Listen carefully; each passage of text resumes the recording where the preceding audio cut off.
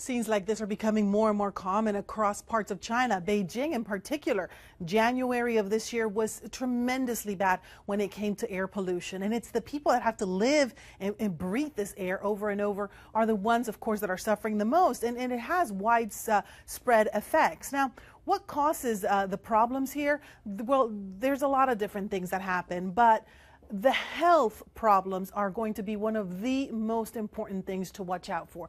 The World Health Organization says that uh, elderly, pregnant women, infants, and people with chronic diseases are the ones that are at most risk uh, to suffer from that dirty air. There's short term effects such as eye irritation or headaches or even maybe feeling dizzy, and those usually go away once the air clears. But there's also long term effects that happen, and uh, those take a lot longer even to diagnose in people, and they're very serious. Anything from lung cancer to reduced lung capacity, or in some cases, even death. But what causes all of these problems? Well, the problem is threefold, really. One is the weather, and we're going to talk about that in just a moment. But the other one is uh, the topography of Beijing. What happens here is we end up in a situation where it's almost like in a bowl. We have mountains to the north, and when the weather, uh, when the winds are very light uh, in this area, all of that smog and haze gets trapped close to the ground. The other problem, of course, is the uh, industry and the pollution sources that are across this area. Anything from uh, industry to the millions of car and the millions of people that that live here.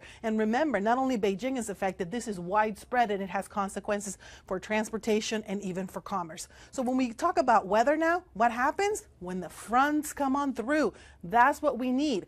When you see weather systems that come on through, they mix the air. When that happens, even if it doesn't rain or snow, it brings us clean air quality. Whenever we see a front go through, that's when Beijing finally has a blue sky day.